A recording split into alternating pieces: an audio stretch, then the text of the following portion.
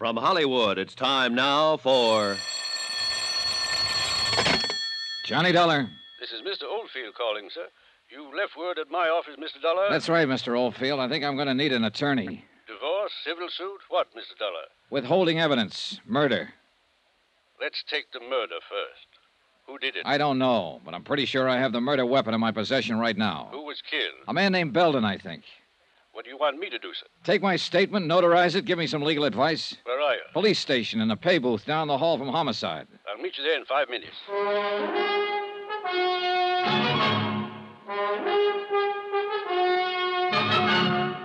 Tonight and every weekday night, Bob Bailey in the transcribed adventures of the man with the action packed expense account, America's fabulous freelance insurance investigator. Yours truly, Johnny Dollar.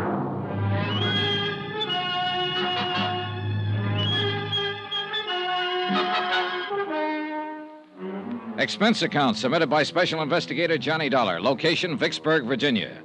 To Special Investigator Johnny Dollar for personal reasons. Attention, Chief Accountant, Eastern Seaboard Casualty Insurance Corporation, Providence, Rhode Island. Dear Jim, I'm attaching my own expense sheet to your bill for clarification purposes. Expense account item 10, 10 cents. One cup of coffee at the counter in the lobby of the Vicksburg police station while I waited for Samuel W. Oldfield, attorney at law, to appear. He was there in exactly five minutes. Mr. Dollar? That's right. Sam Oldfield, sir.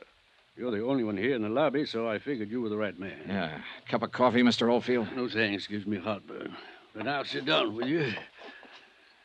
That was a pretty interesting phone call. Tell me, who are you, sir? Johnny Dollar. I'm a private insurance investigator. Mm-hmm. How'd you get my name? I looked it up in the yellow pages of the telephone directory. You don't live here in Vicksburg? No, I'm from Hartford, Connecticut. All right, sir. Now, tell me about the murder and the withholding of information. Maybe I better start from the top. Go right ahead any way you like. Well, two days ago, I flew down here to investigate a small burglary at the Plantation Hotel. It was already solved by the time my plane got in. Police? Yeah. I had nothing better to do, so I waited around the hotel bar for my return reservation back to Hartford. Then I happened to walk outside to the parking lot for a breath of fresh air. I saw a woman and a man standing there arguing. When I got close to them, the woman asked me to help her. I did. How do you mean? Well, the, the man she was with started to act like a kid. He got rough. So I shoved him away. Go on. Well, the woman was upset, so I took her inside the hotel and bought her a drink. After that, I put her in a cab and started to send her on her way. She started to act sick about that. Wait. Is this the woman whose picture was in the paper tonight? The one who died of poisoning and the police don't know who she is? Yeah. I don't know who she is, Mr. Oldfield. Except that her name's Amy Duran. I found out her name because I found her purse and there was a gun in it. A 38 Colt registered to a man named O'Connell. I checked on the gun here at headquarters, went out to the address, and found out O'Connell was a bank guard and had died about a year ago. I talked to his wife, Teresa O'Connell. While I was there, the man I'd seen the night before showed up. His name's Paul Dameron. Now, I didn't tell him or Mrs. O'Connell about the gun. I came down here to give it to the police and tell them. But when I got here, Lieutenant Akins was pretty busy trying to solve the murder of a man named Belden, who'd been shot with a 38 three times. There are three slugs missing from the gun I found. You got a light, sir? Yeah. Here you go. When you uh, found Amy Durand's purse, why didn't you turn it over to the police? Oh, I thought I. Well, somehow I thought maybe I could help the girl.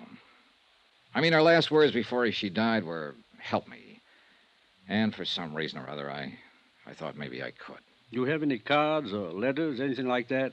Something that says you're what you say you are, sir? Yeah, sure. Let's see. Okay, Dollar. Now, as I see it, you probably hooked up with someone who did some shooting. And that's what worries you. I want you to take my statement and notarize it before I turn the gun in. That'll protect you some. If they want to get nasty, they can, though. You know that. Yeah, I know. Well, as I see it, the main job here is to try to keep you out of trouble. And a statement explaining your motive for participation in the whole affair might help. That's why I called you. All right, then. Now, Dollar, uh, Yeah? you didn't shoot anybody, did you? No. Okay, then, sir. Let's go over to my office.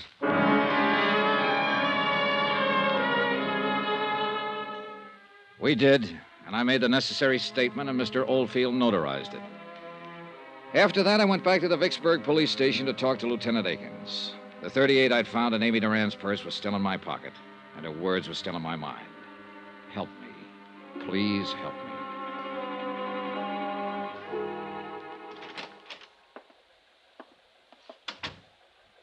Thought you was going back to Hartford, Dollar. Oh, I uh, decided to hang around and see what came up. Mm-hmm. Nothing so far on the girl. No one's recognized her picture in the paper. Had to turn that over to missing persons. This murder case going to eat up all my time. What happened, Lieutenant? Old maid at the apartment house where this man Belden was staying found him late this afternoon. He'd been dead about 24 hours, shot with a 38. You sure? I'm sure. We did a postmortem right away. It's a pretty set case. You, uh, you know who shot him? Have a pretty good idea. See, this Belden, he was an auditor working on some books at a firm of textile wholesalers here, Richmond Limited. The papers scattered around his apartment show he'd found a $10,000 shortage going over their books. And the chief accountant for this Richmond company is missing. Yeah, well, that does make it seem pretty clean Yeah, cut. all we have to do is find that accountant. Had an APB out for half an hour now. I think we'll pick her up pretty soon. Her? Who? Well, her, Dollar. The chief accountant for Richmond Limited. She's a woman. Name of, uh, Amy Duran. To all appearances, Amy Duran had been guilty of embezzling money and murdering the auditor Belden who discovered the shortages in her books. I didn't tell Akins that his suspect was the girl lying in the morgue at the moment unidentified. I knew that it was only a matter of minutes before her sister or Paul Dameron would be down to identify her. And for the third time, I didn't tell Lieutenant Akins about the gun. I knew if I turned that over to him, it would be a closed case all around. And somehow I didn't want it closed on Amy Duran. Not that way. For that reason, I went back to my hotel room for a couple of hours, and then about nine o'clock that night, I found myself over on Polk Street at Teresa O'Connell's house once more.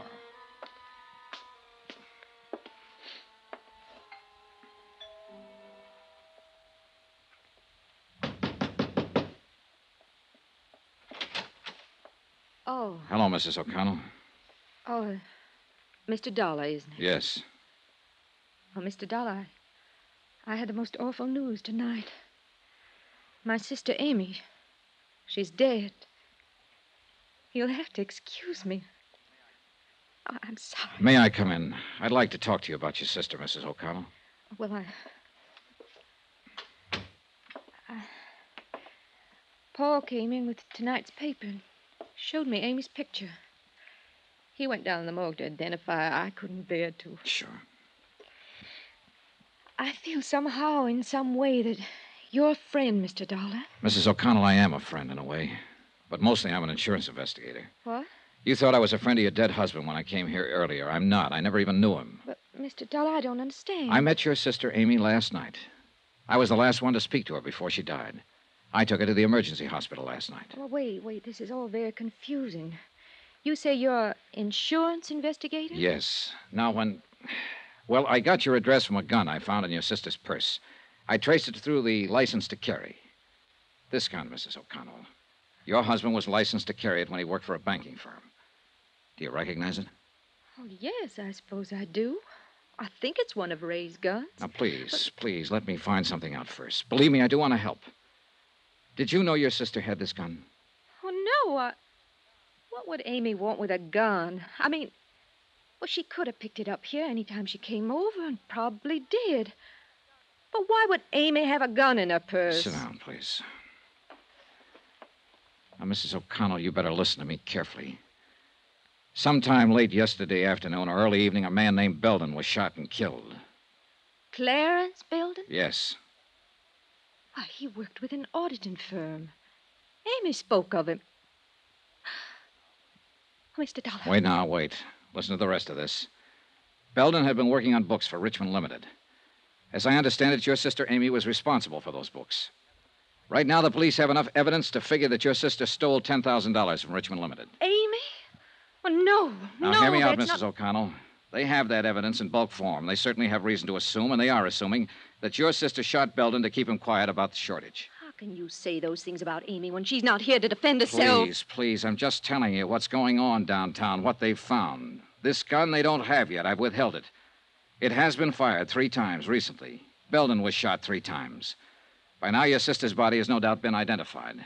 They've already established that she died of poisoning, and they halfway have the idea that she committed suicide. No. Oh, don't you see? They'll say she shot Belden to cover up and keep it quiet, and then saw how useless it was, took poison, and killed herself to escape punishment. You're horrible. Horrible. Go away.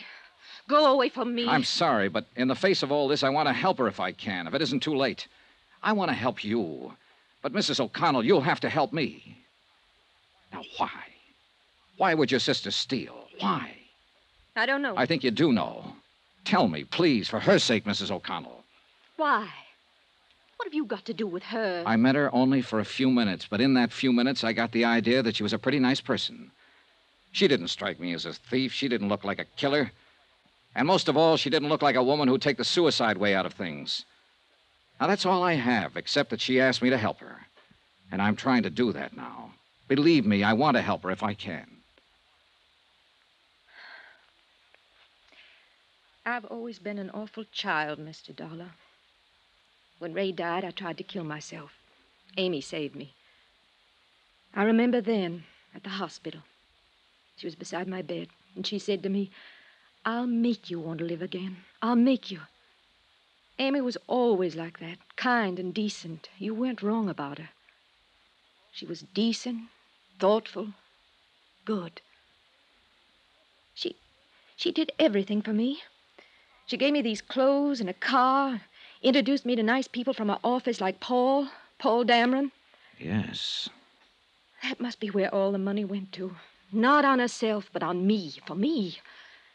I'm the only reason I can think of that she'd take money from the firm. Yeah, yeah. I didn't know she was stealing from me. I didn't know. I wouldn't have let her do it. She didn't have to pamper me that much. I'm not that much of a child. She didn't have to do it. She didn't have to do it. Wait. Wait a minute. She didn't kill herself. She didn't steal. She didn't murder that man. I did all those things because it was all for me.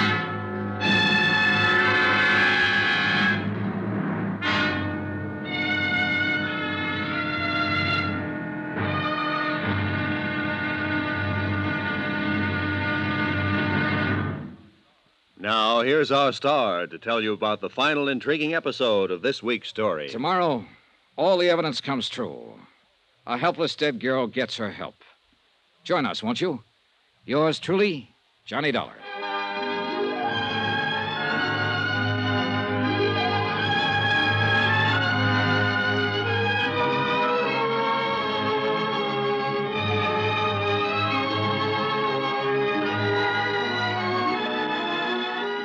Yours truly, Johnny Dollar, starring Bob Bailey, is transcribed in Hollywood.